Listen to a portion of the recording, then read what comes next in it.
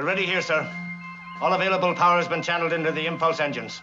We have 12 minutes before entering atmosphere. All right, Scotty, put her in full reverse. Get her out of there.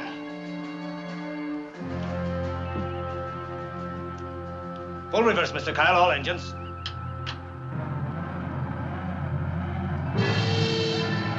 Sir! Captain, we're doing it. We're pulling away.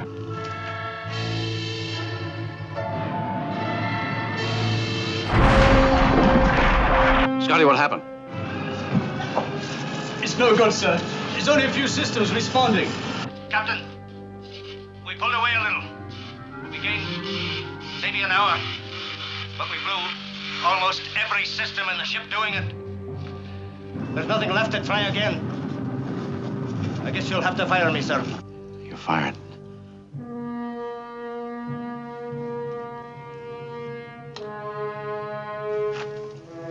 Hundred people. Jim.